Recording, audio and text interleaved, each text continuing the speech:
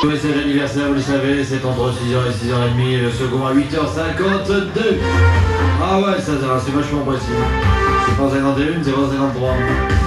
Nous allons souhaiter un joyeux anniversaire à notre fille Alexandra pour ses 6 ans. C'est de la part de son papa, de sa maman, de sa soeur, de ses frères. Il embrasse très très fort. C'est de la part également de toute l'équipe de Radio et de votre serviteur.